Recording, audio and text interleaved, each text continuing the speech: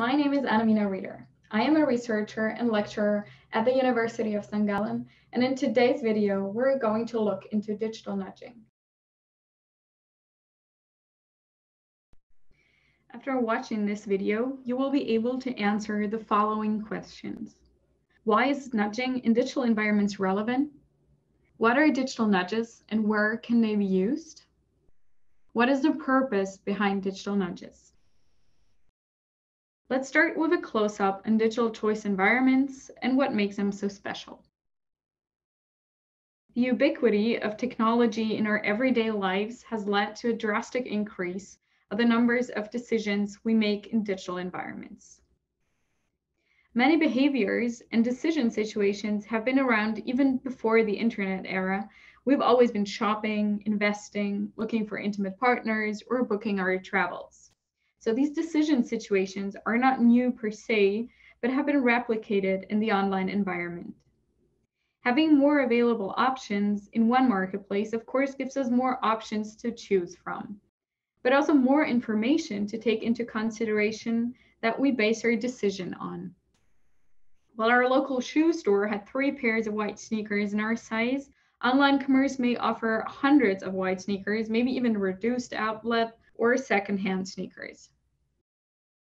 So the tendency that we can observe is clearly an exponential expansion of the available information. If we look at our cognitive capacities, we must note that they have hardly changed over hundreds of years.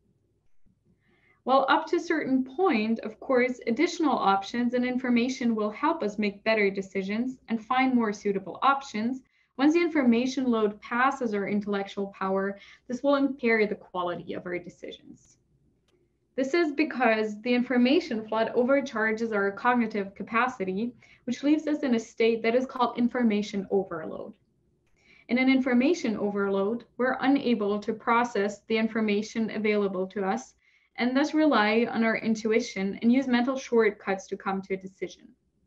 Looking at what is going on between our two modes of thinking, we can see that in such situations, System 2 is overcharged by the available information, and we tend to rely more heavily on System 1 to support our decision-making processes, which unsurprisingly results in lower decision quality. To prevent this from happening, scholars in different disciplines have put forth a variety of approaches to support human decision-making and to improve decision quality. Prominent concepts include persuasive technology, digital nudging, and gamification. Despite being frequently used interchangeably, they focus on different angles and rely on different strategies to obtain similar outcomes. Gamification seeks to exploit elements from game design, for example, competitions, leaderboards, transparency of progress, and reward structures to alternatively motivate people to engage in a specific behavior. In contrast, persuasive technology and digital nudging are more superordinate approaches to influence behavior. They refer to information technology or elements of it that aim to alter human behavior or attitudes in a predefined way.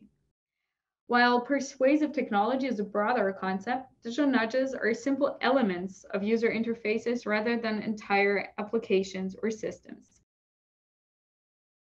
Let's have a closer look at what digital nudges are and what they do. To put it simply, digital nudging transfers the principles of nudging to the digital sphere. Digital nudges are any user interface design element that utilize or counteract psychological effects with the goal of influencing users' decision in a predetermined way without forbidding any options, significantly changing economic incentives, or providing relevant argumentation.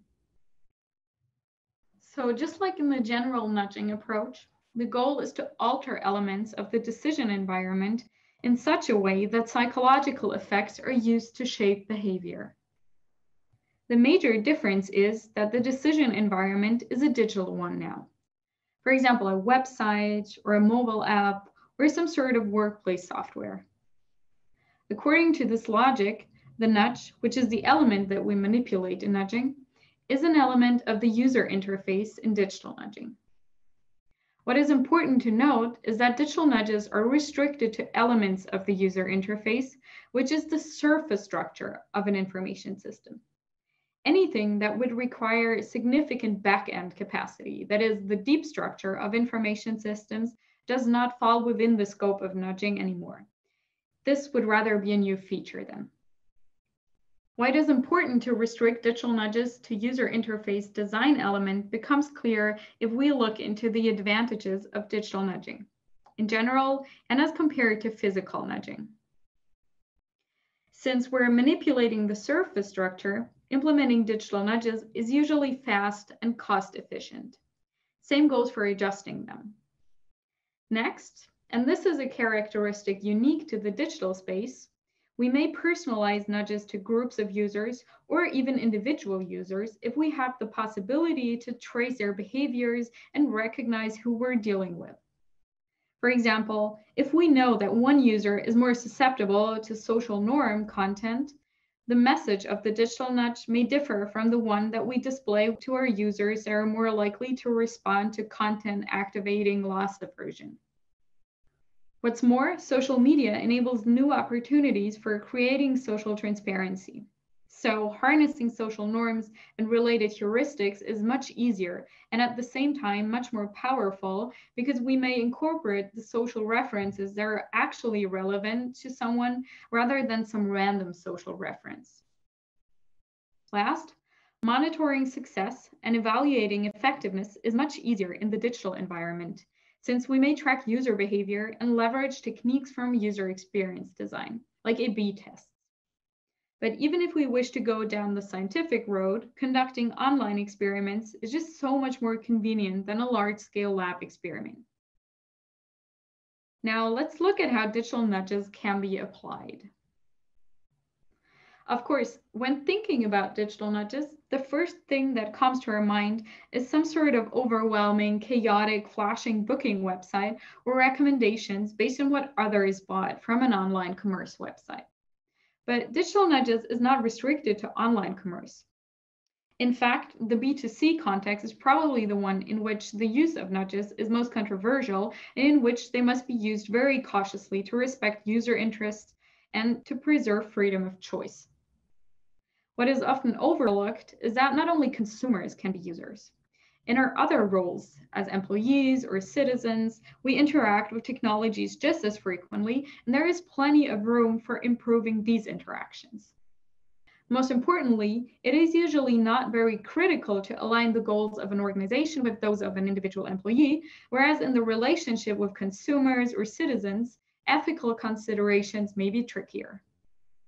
Generally, it is important to remember that the purpose of digital nudges should be to improve users' interaction with the user interface and not to get them to act in a way that benefits the organization.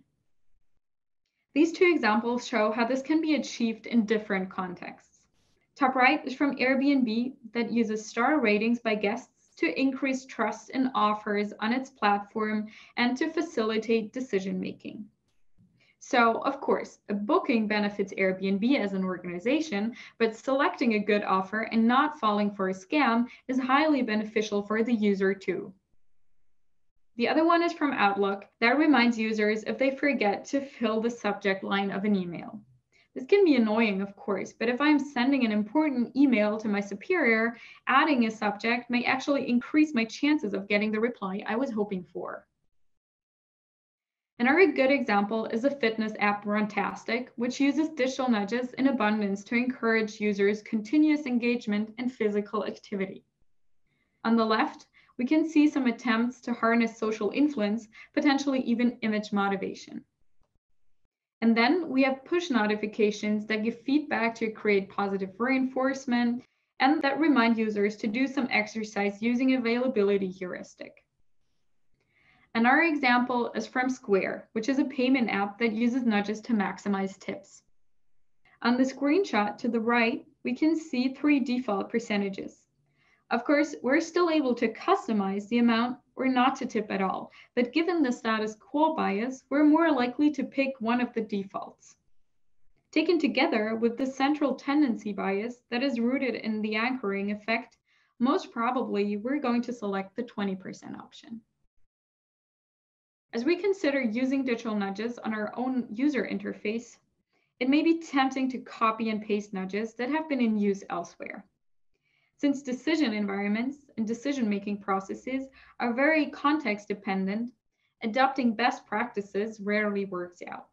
Also, most websites do not report on the nudges they use and whether they have been successful, so it is really hard to tell best practice apart from common practice.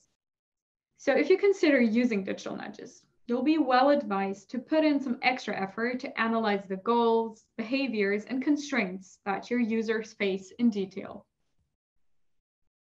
I hope you enjoyed this video. If you're interested in this topic and want to know more about it, I've linked further readings and references in the description below. Thanks for watching.